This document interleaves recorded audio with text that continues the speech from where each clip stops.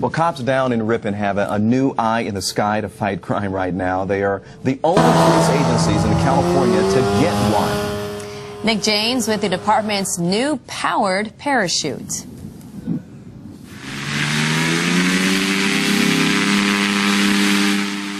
Two seats, a motor, and one very large parachute.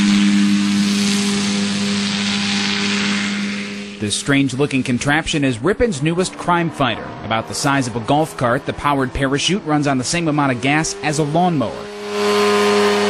With this aircraft, we could stay in the air for over two hours around our city. Sergeant Steve Merchant's already getting the hang of flying it. Push right, you go right. You push left, you go left.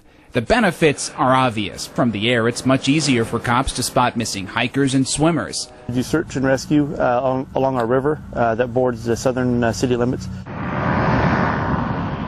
Or scan for marijuana grows, find stolen cars, do surveillance in high crime spots. Ripon police can suddenly cover lots of ground from the air. And did we mention it's cheap?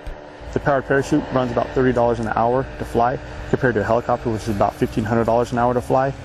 Speaking of helicopters, cops say the nearest one's up in Auburn, almost time to refuel by the time they get to Ripon, but the powered parachute can get up in the air in 15 minutes. I was hoping they were going to offer uh, to give free rides today, but it doesn't look like that's going to happen. Curious residents stop by for a look. Officers say Ripon is the first in California and one of only seven police departments across the country to take this low-cost aerial approach that could save lives. Hey, if we help one person with this, uh, then the cost will be worth it.